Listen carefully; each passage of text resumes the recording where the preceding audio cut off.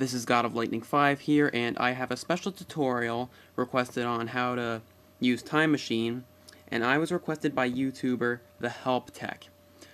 Um, the only basic thing you need is a flash drive, but Time Machine is only accessed on Windows, I mean um, Mac, sorry, can't be accessed on Windows. And once you have it plugged in, you will see it'll right, it'll, it'll appear right here. Mine is called Jack's flash drive. So now, uh, what you got to do is um, you got to choose a file that you don't need, and that's kind of the point. That's what the point of Time Machine is, so you can get more space on your computer.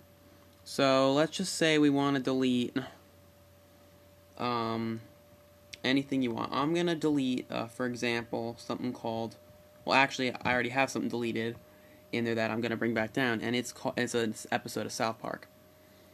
But before you do that, make sure you put the the item in your flash drive first. So I'm gonna uh, pretend, well, not really do this, but you can just drag this item into the flash drive. Oh, darn it! Sorry, I have the Exposé thing activated out there, so it'll be hard. What you do is you drag this into your flash drive, and you see a plus, and it's like says it's it'll go in there. But I'm not gonna do that, but that's all you gotta do. And once you do that, you can delete this and put in the trash can, like right here and well actually that can't be deleted now but you'll get it. So after that you will click on time machine right here and it'll bring you up into this weird thing of outer space. Now you will click on your flash drive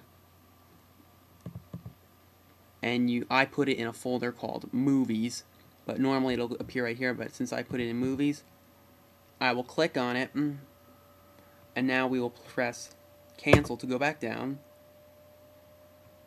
and now I can just drag it into iTunes. Oops. Go back to Jack's flash drive. Go to movies. And I can just drag it right here, but I'm not going to now since I don't need it. So that's just a basic time machine tutorial. I know it wasn't that long and it's very easy to use.